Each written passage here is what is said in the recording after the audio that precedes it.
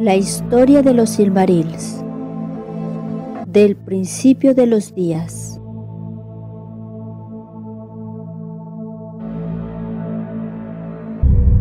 Se dice entre los sabios que la primera guerra estalló antes de que Arda estuviera del todo acabada y antes de que nada creciera o anduviera sobre la tierra. Y durante mucho tiempo, Melkor tuvo la mejor parte. Pero en medio de la guerra, un espíritu de gran fuerza y osadía acudió en ayuda de los Valar, habiendo oído en el cielo lejano que se libraba una batalla en el pequeño reino, y el sonido de su risa llenó toda Arda. Así llegó Tulcas, el fuerte, cuya furia pasa como un viento poderoso, esparciendo nubes y oscuridad por delante.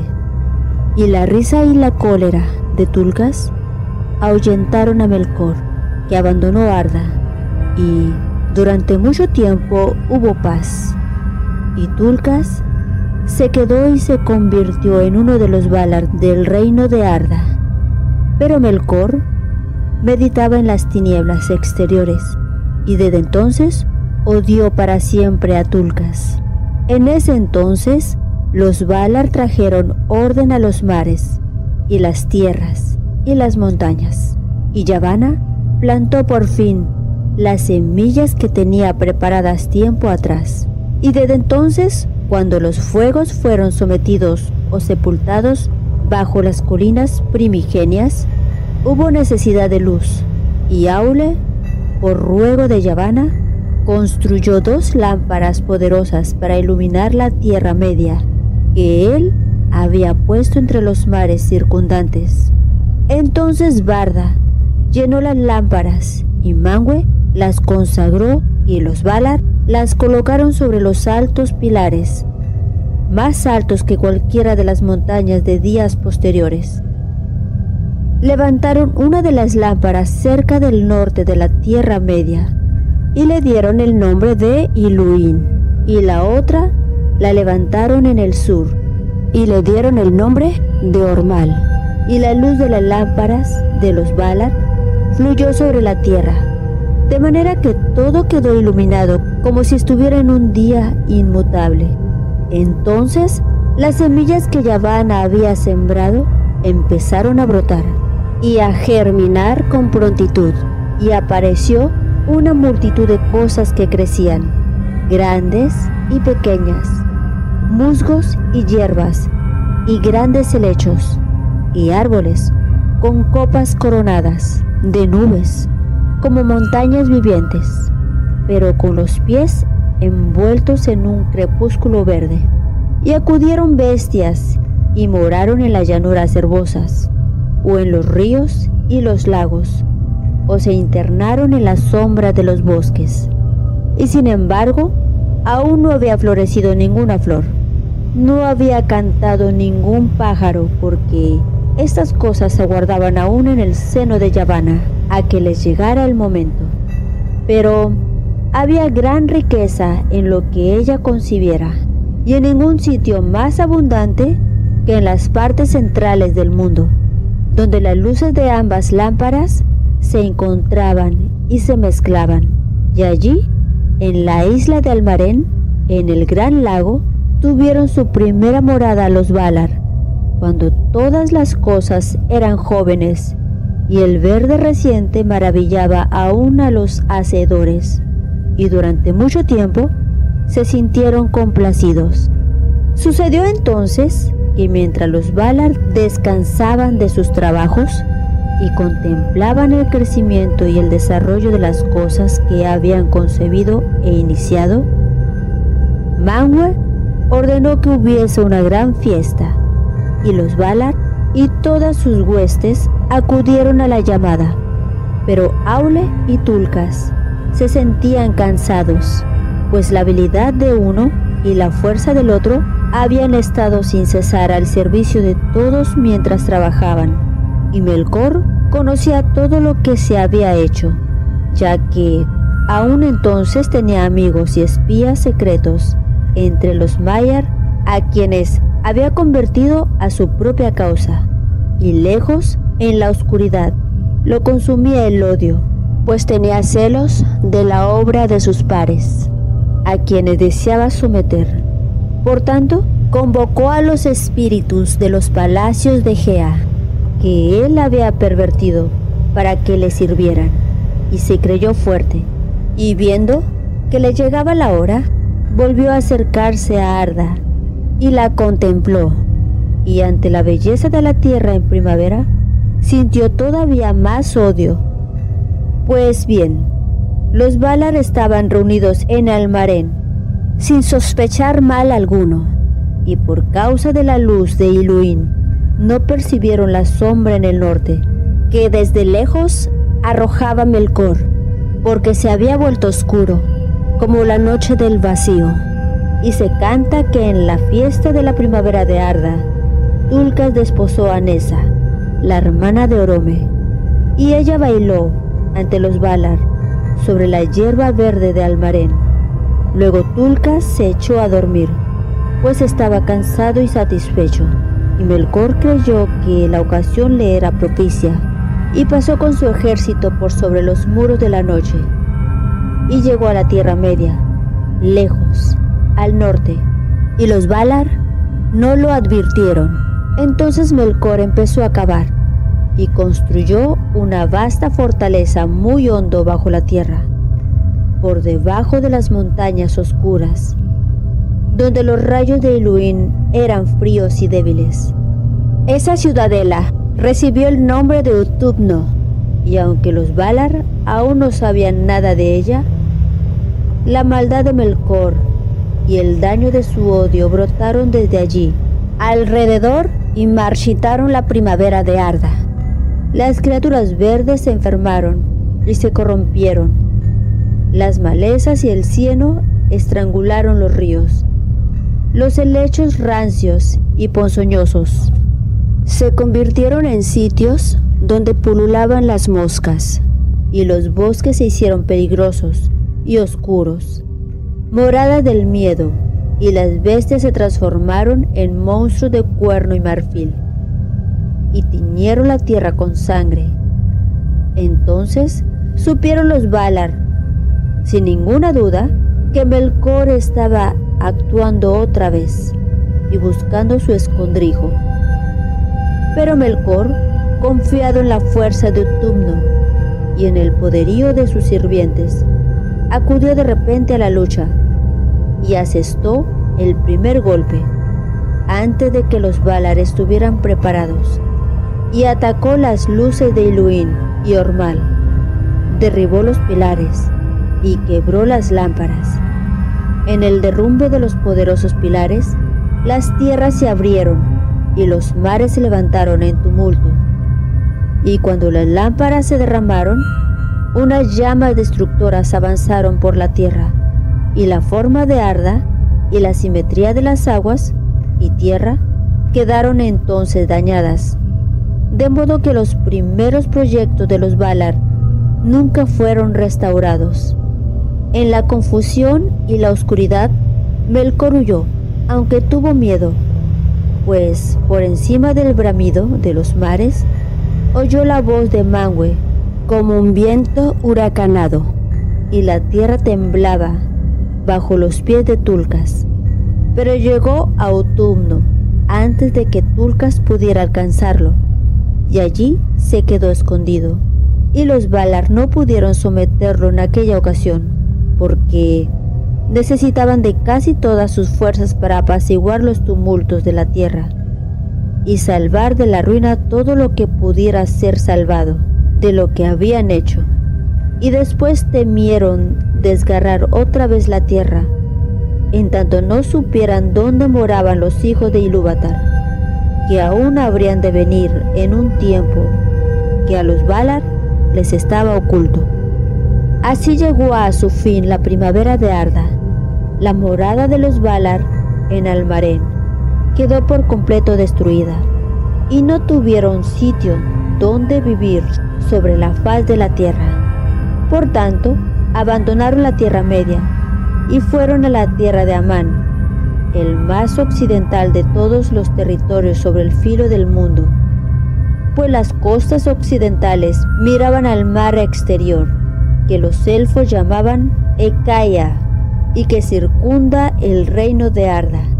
Cuán ancho es ese mar, solo los Valar lo saben, y más allá de él se encuentran los muros de la noche. Pero las costas orientales de Amán eran el extremo de Belegar, el gran mar del occidente. Y como Melkor había vuelto a la Tierra Media, aún no podían someterlo. Los Valar fortificaron sus propias moradas, y en las costas del mar levantaron las Pelori, las montañas de Amán, las más altas de la tierra, y sobre todas las montañas de Pelori se alzaba la altura en cuya cima puso Manwë su trono. Taniquetil llaman los elfos a esa montaña sagrada, y oilóse de blancura sempiterna, y Elerina coronada de estrellas, y con muchos otros nombres, pero en la lengua tardía de los Sindar se le llamaba Amon Willos, desde los palacios de Taniquetil. Mangue y Barda podían ver a través de la tierra hasta los confines más extremos del este. Detrás de los muros de los Pelori, los Valar se establecieron en esa región que llamaban Valinor, y allí tenían casas, jardines y torres. En aquella tierra protegida acumularon grandes caudales de luz y las cosas más bellas que se salvaron de la ruina y muchas otras, aún más bellas, las hicieron de nuevo. Y Valinor fue todavía más hermosa que la Tierra Media, en la primavera de Arda, y fue bendecida, porque los inmortales vivían allí, y allí nada se deterioraba, ni marchitaba, ni había mácula en las flores, o en las hojas de esa tierra, ni corrupción o enfermedad, en nada de lo que allí vivía porque aún las mismas piedras y las aguas estaban consagradas. Y cuando Valinor estuvo acabada y establecida las mansiones de los Valar, en medio de la llanura de más allá de los montes edificaron su ciudad, Valmar, la de muchas campanas. Ante el portal occidental había un montículo verde, ese Yoar, llamado también Corolaire, y Yavanna lo consagró y se sentó allí largo tiempo sobre la hierba verde y entonó un canto de poder en el que puso todo lo que pensaba de las cosas que crecen en la tierra. Pero Niena reflexionó en silencio y regó el montículo con lágrimas. En esa ocasión, los Valar estaban todos reunidos para escuchar el canto de Yavanna, sentados en los tronos del consejo en el Manaxar en el anillo del juicio, acerca de los portones dorados de Balmar, y Yavanna Kementari cantó delante de ellos, que la observaban.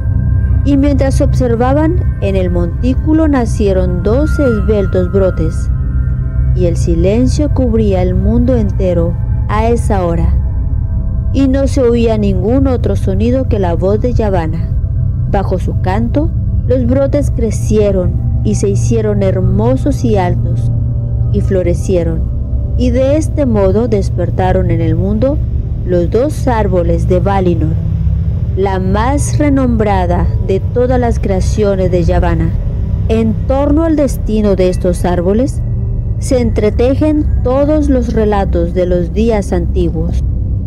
Uno de ellos tenía hojas de color verde oscuro, que por debajo eran como plata resplandeciente, y de cada uno de las innumerables flores caía un rocío continuo de luz plateada, y la tierra de abajo se moteaba con la sombra de las hojas temblorosas. El otro tenía hojas de color verde tierno, como el haya recién brotada, con brote de otros refulgentes.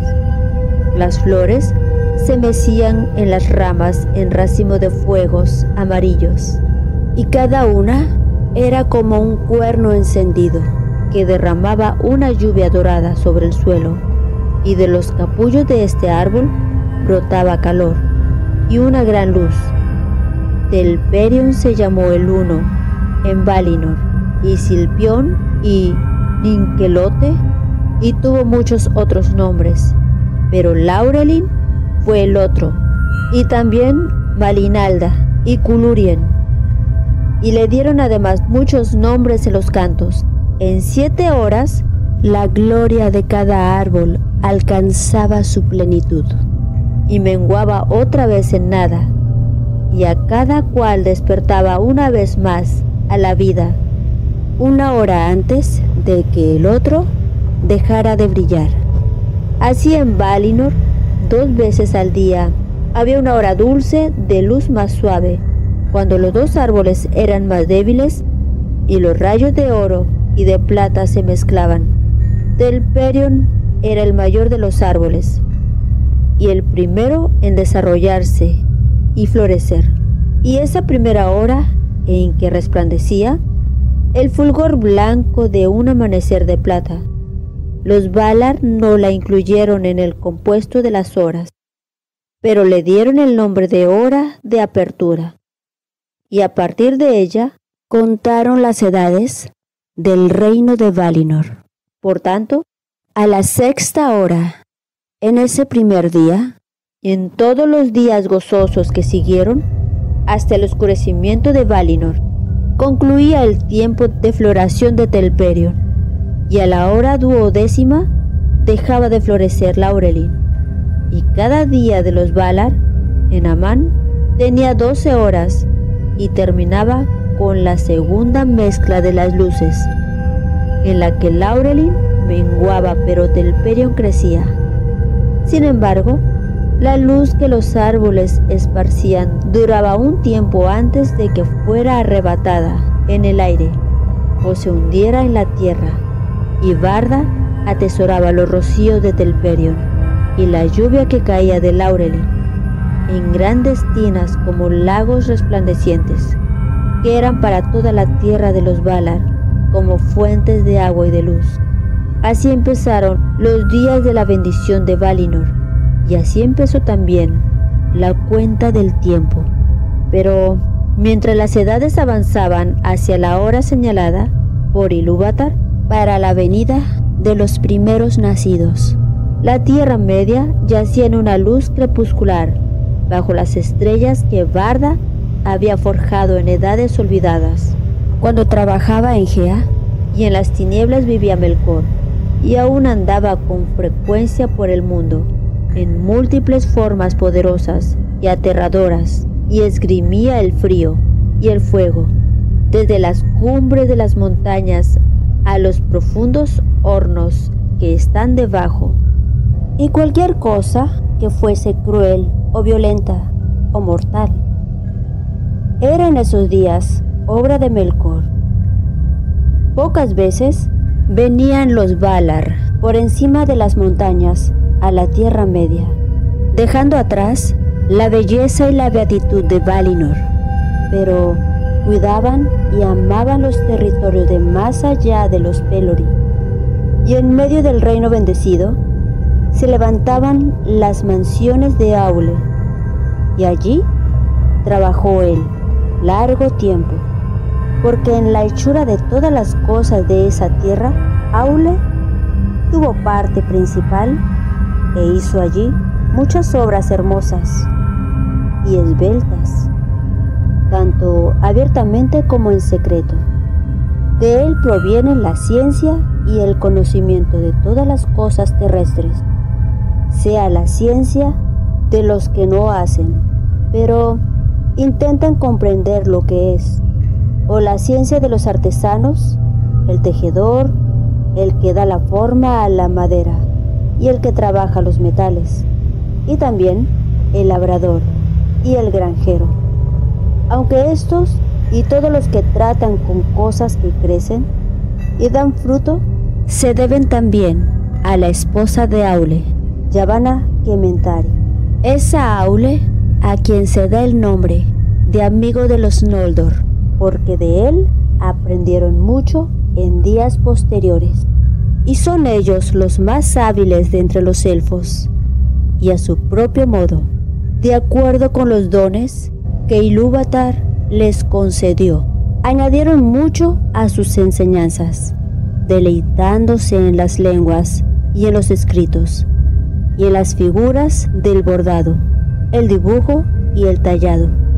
Los Noldor fueron también los primeros que consiguieron hacer gemas, y las más bellas de todas las gemas fueron los Silmarils, que se han perdido.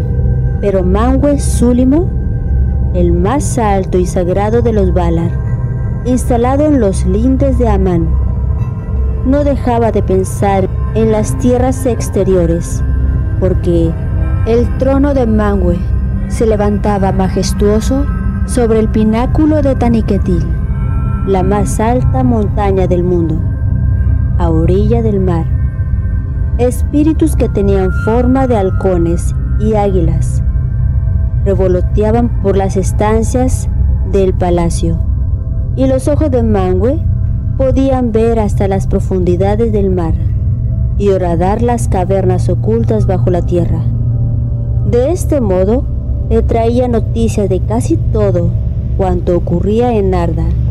No obstante, había cosas ocultas aún para Mangue y los servidores de Mangue, porque donde Melkor se ensimismaba en negros pensamientos, las sombras eran impenetrables. Mangue no concibe ningún pensamiento que sirva a su propio honor y no tiene celos del poder de Melkor, sino que lo gobierna todo en paz. De entre los elfos, amaba más a los Banyar, y de él recibieron la poesía y el canto, pues la poesía es deleite de Mangue, y el canto con palabras es la música que prefiere. El vestido de Mangue es azul, y azul el fuego de sus ojos, y su cetro es de zafiro, que los Noldor labraron para él, y fue designado para ser el vicerregente de Ilúvatar, rey del mundo de los Valar y los elfos y los hombres, y principal defensa contra el mal de Melkor. Con Mangue moraba Barda, quien en lengua sindarin es llamada Elberet, reina de los Valar hacedora de las estrellas, y con ellos había una vasta hueste de espíritus bienaventurados. Pero Ulmo se encontraba solo, y no moraba en Valinor, y ni siquiera iba allí, excepto cuando se celebraba un gran consejo. Vivió desde el principio de Arda, en el océano exterior, y allí vive todavía. Desde allí gobierna el flujo de todas las aguas y las mareas el curso de los ríos y la renovación de las fuentes y la destilación de todos los rocíos y la lluvia en las tierras que se extienden bajo el cielo. En los sitios profundos concibe una música grande y terrible y el eco de esa música corre todas las venas del mundo en dolor y alegría porque si alegre es la fuente que se alza al sol, el agua nace en pozos de dolor insondable, en los cimientos de la tierra. Los Teleri aprendieron mucho de Ulmo y por esa razón su música tiene a la vez tristeza y encantamiento. Junto con él llegó Salmara Arda, el que hizo los cuernos de Ulmo, aquellos que nadie puede olvidar si los ha oído una vez, también ose y huinen a los que dio el gobierno de las olas y los movimientos de los mares interiores, y además muchos otros espíritus. Y así fue por el poder de Ulmo que, aún bajo las tinieblas de Melkor, fluyó la vida por muchas vías secretas, y la tierra no murió, y para aquellos que andaban perdidos en estas tinieblas o lejos de la luz de los Valar, estaban siempre abiertos los oídos de Ulmo y tampoco ha olvidado la Tierra Media. y no ha dejado de pensar en cualquier ruina o cambio que haya sobrevenido. Desde entonces, y así lo hará hasta el fin de los días. En esos tiempos de oscuridad, tampoco Yavanna estaba dispuesta a abandonar por completo las tierras exteriores, pues todas las cosas que crecen le son caras, y se lamentaba por las obras que había iniciado en la Tierra Media y que Melkor había dañado. Por tanto, abandonando la casa de Aule y los prados floridos de Valinor, iba a veces a curar las heridas abiertas por Melkor, y al volver, instaba siempre a los Valar a enfrentar el maligno dominio de Melkor en una guerra que tendrían que librar sin duda antes del advenimiento de los primeros nacidos. Y Orome, domador de bestias, también cabalgaba de vez en cuando por la oscuridad de los bosques. Llegaba como poderoso cazador, con el arco y las flechas, persiguiendo a la muerte, a los monstruos y criaturas salvajes del reino de Melkor, y su cabello blanco, Nar, brillaba como plata en las sombras. Entonces la tierra adormecida temblaba con el repiqueteo de los cascos dorados y el crepúsculo matinal del mundo. Orome hacía sonar el gran cuerno, el balaroma, sobre los llanos de Arda. Las montañas le respondían con ecos prolongados y las sombras del mal huían y el mismo Melkor se encogía en Uptumno, anticipando la cólera por venir. Pero Orome no había acabado de pasar y ya los sirvientes de Melkor se reagrupaban y las tierras se cubrían de sombras y engaños. Ahora bien, todo se ha dicho de cómo fueron la tierra y sus gobernantes en el comienzo de los días antes de que el mundo apareciese, como los hijos de Ilúvatar lo conocieron, porque los elfos y los hombres son hijos de Ilúvatar, y como no habían entendido enteramente ese tema, porque por él se atrevió, por el que los hijos entraron en la música. Ninguno de los Ainur se atrevió a agregarle nada, porque esa razón los Valar son los mayores y los cabecillas de ese linaje antes que sus amos. Y si en el trato con los elfos y los hombres, los Ainur han intentado forzarlos en alguna ocasión, cuando ellos no tenían guía, rara vez ha resultado nada bueno, por buena que fuera la intención.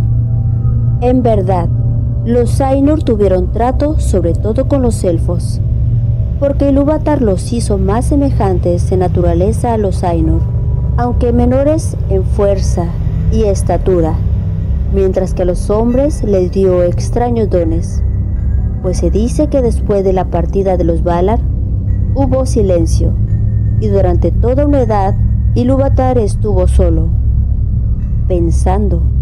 Luego habló y dijo, He aquí que amo a la tierra que será la mansión de los Kendi y los Atani. Pero los Kendi serán los más hermosos de todas las criaturas terrenas, y tendrán y concebirán y producirán más belleza que todos mis hijos, y de ellos será la mayor buenaventura en este mundo. Pero a los Atani les daré un nuevo don. Por tanto, quiso que los corazones de los hombres buscarán siempre más allá y no encontrarán reposo en el mundo, pero tendrían en cambio el poder de modelar sus propias vidas, entre las fuerzas y los azares mundanos, más allá de la música de los Ainur, que es como el destino para toda criatura, y por obra de los hombres, todo habría de completarse en forma y acto, hasta en lo último y lo más pequeño. Pero Ilúvatar sabía que los hombres, arrojados al torbellino de los poderes del mundo, se extraviarían a menudo y no utilizarían sus dones en armonía. Y dijo, También ellos sabrán, llegado el momento, que todo cuanto hagan contribuirá al fin, solo a la gloria de mi obra. Crecen los elfos, sin embargo, que los hombres son a menudo motivo de dolor para Mangue, que conoce mejor que otros la mente de Ilúvatar, pues le aparece a los elfos que los hombres se asemejan a Melkor, más que ningún otro Ainur, aunque él los ha tenido y los ha odiado siempre, aún a aquellos que le servían. Uno y el mismo es este don de la libertad concedido a los hijos de los hombres, que solo estén vivos en el mundo. Un breve lapso, y que no estén atados a él, y que partan pronto a donde los elfos no lo saben, mientras que los elfos permanecerán en el mundo hasta el fin de los días, y su amor por la tierra y por todo es así más singular y profundo, y más desconsolado a medida que los años se alargan, porque los elfos no mueren hasta que no muere el mundo, a no ser que los maten o los consuma la pena. Y estas dos muertes aparentes están sometidos. Tampoco la edad les quita fuerza, a no ser que uno se canse de diez mil centurias, y al morir se reúnen en las estancias de mandos, en Valinor, de donde pueden retornar, llegado el momento. Pero los hijos de los hombres mueren en verdad y abandonan el mundo, por lo que se les llama los huéspedes o los forasteros. La muerte es su destino, el don de Ilúvatar, que hasta los mismos poderes envidiarían con el paso del tiempo. Pero Melkor ha arrojado su sombra sobre ella y la ha confundido con las tinieblas y ha hecho brotar el mal del bien y el miedo de la esperanza. No obstante, ya desde hace mucho tiempo que los Valar declararon a los elfos que los hombres se unirán a la segunda música de los Ainur, mientras que Ilúvatar no ha revelado qué le reservará a los elfos después de que el mundo acabe y Melkor no lo ha descubierto.